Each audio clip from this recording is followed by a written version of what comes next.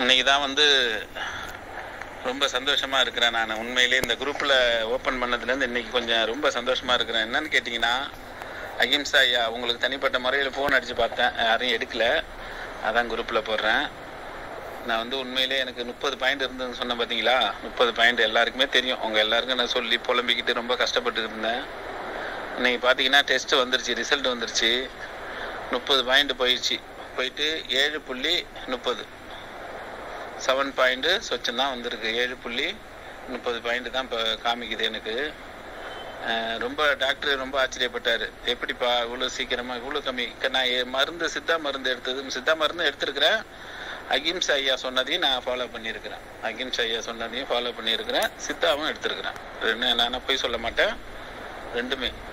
அவர் சொன்னார் மருந்து எடுக்கிறபடி எடுத்தாலும் சொல்கிறத ஃபாலோ பண்ணுங்கள் கொஞ்சம் கொஞ்சம் ஃபாலோ பண்ணுங்கன்னாரு. நானும் கொஞ்சம் தான் ஃபாலோ பண்ணேன். கொஞ்சம் ஃபாலோ பண்ணதுக்கே இருபத்தெட்டு நாள் தான் டோட்டலாக இந்த இருபத்தெட்டு நாளில் அகிம்சையா சொன்னது ஒரு பத்து நாளாக பாஞ்சு நாளாக தான் எடுத்துக்கிட்டு இருக்குன்னேன் இப்போ பார்த்தீங்கன்னா ரொம்ப குறைஞ்ச ஏழு புள்ளி ஏழு புள்ளி முப்பது பாயிண்டில் இருக்குதுங்க ஐயா. உண்மையிலே உங்கள் எனக்கு எவ்வளோ பேர் நான் அகிம்சையாட்டெல்லாம் ஃபோன் அடித்து பேசும்போது மனசு ரொம்ப வருத்தப்பட்டு ரொம்ப கஷ்டமாக இருக்கும் எனக்கு. அப்போல்லாம் மனசை தேத்தி விட்டாரு. நம்பிக்கையாக இரு. சொன்னதை செஞ்சுட்டு வா.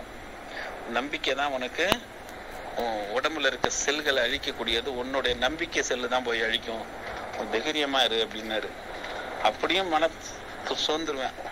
சோர்ந்து போய் உட்காந்துருவேன் சமயத்துல. அப்படிலாம் இருந்து இப்படிலாம் ரொம்ப கஷ்டப்பட்டு நான் எப்பெல்லாம் மனசு சங்கடப்பட்டேனோ அப்பெல்லாம் அவருக்கு தான் ஃபோன் அடிச்சிருக்கிறேன். கொஞ்சம் நிறையா.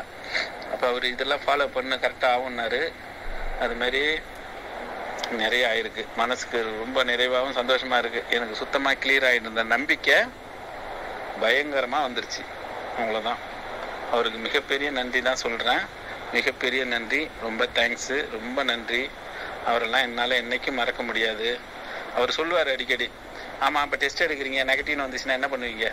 அப்படின்னு சொல்லுவார். உலகத்திலே மிகப்பெரிய சந்தோஷம் வர்றது நானாக தான் இருப்பேன் அப்படின்னு சொல்லுவேன். அது மாதிரி இப்போ ரொம்ப சந்தோஷமா. எனக்கு நெகட்டிவ்னு வந்துருச்சுன்னு வைங்களேன் அவ்வளோதான் முடிஞ்சு.